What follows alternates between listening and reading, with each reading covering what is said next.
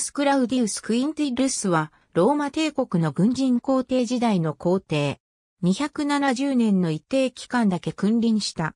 クラウディウス・ゴティクスの弟で、ローマ皇帝軍像によればクインティルスは、クーデターによって政権を奪取したと伝えられる。ゴティクスの死後、軍隊の兵士たちに擁立されての即位だったらしく、ローマの元老院によって追従承認といった形で迎えられた。しかし他方では、元老院からの要請で擁立されたとの記述もあり、一定していない。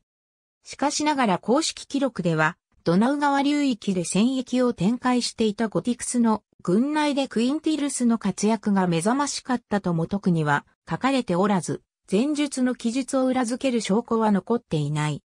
代わりに、兵士たちは、アウレリアヌスの擁立をした、または死の床で、ゴティクス本人が後継として、アウレリアヌスを指名したと記録されている。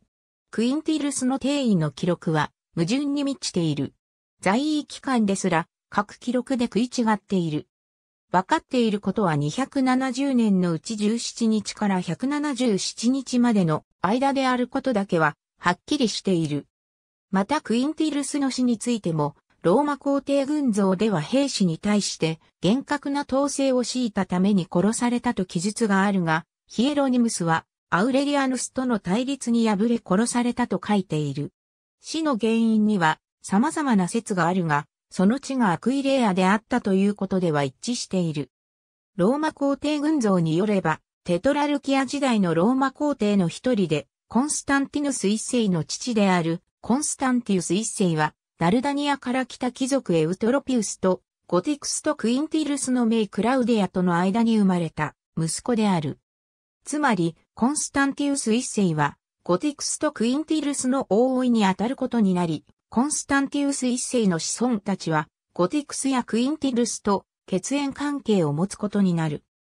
しかし、この系譜は、コンスタンティウス一世の孫にあたるコンスタンティヌス二世による、鉄道で、地位が高い二人の末裔に見せかけたかったのだろうと、多くの歴史家は考えており、コンスタンティウス一世とゴティクスやクインティルスとの間に血縁関係は存在しないとの見方が有力である。